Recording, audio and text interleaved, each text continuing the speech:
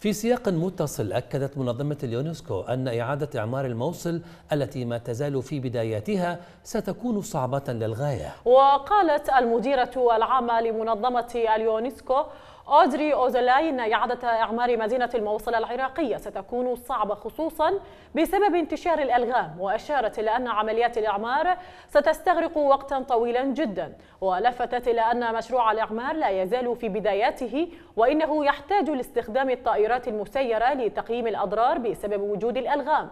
وأعلنت المديرة العامة لمنظمة اليونسكو جمع أكثر من 100 مليون دولار لأغراض أعمار الموصل من ضمنها 50 مليون دولار مقدم من دولة الإمارات لإعادة بناء الجامع النوري الكبير ومنارته الشهيرة.